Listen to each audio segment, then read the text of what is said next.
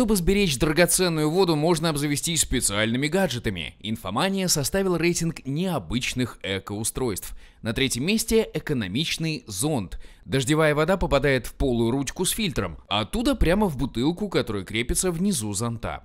На второй строчке экологичная капля. Счетчик можно запрограммировать на определенное количество потребляемой воды. Когда лимит исчерпан, сигнализация громко предупреждает хозяина, что пора выбираться из душа.